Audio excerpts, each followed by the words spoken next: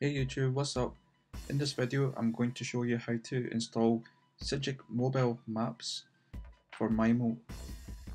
Before we begin, we need to make sure that we have all the correct files there.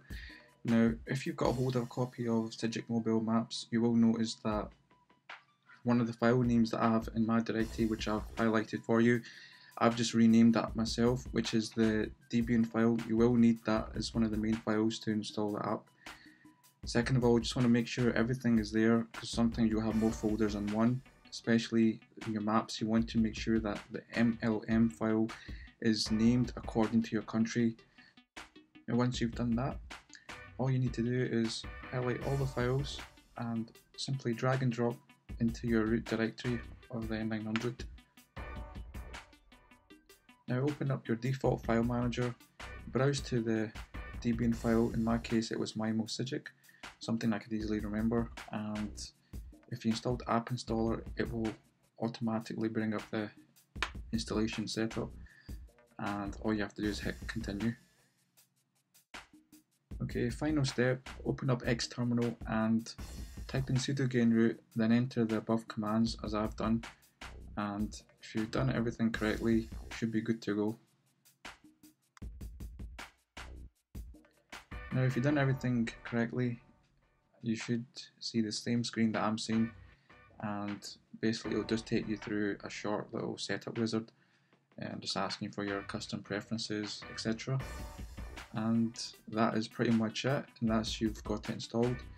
Um, when it does ask you for enabling GPS position and your GPS device I would say yes to both because you can get online updates for your traffic and police speed traps, traffic and weather and all kinds of other things that may come in pretty handy.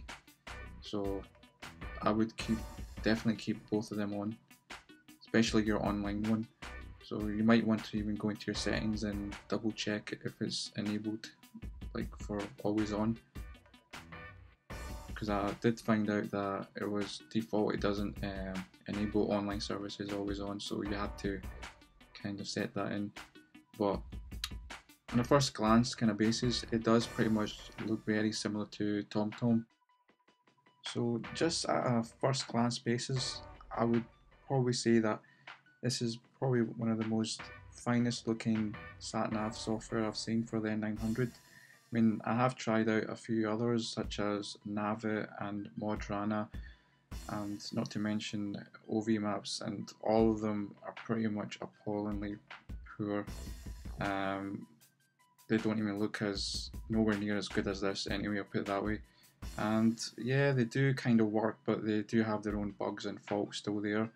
So to see something like this, packed with so many features and such a nice layout, and to see it working flawlessly on the 900 is really good.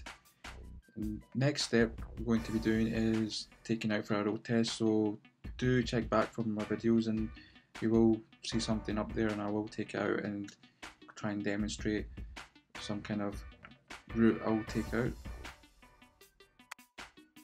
So as always, if you've got any issues or any problems with installing this app then please do let me know. Or if you just want to throw one of your random comments or shout outs then feel free. And again guys thank you for watching and hope you enjoyed the video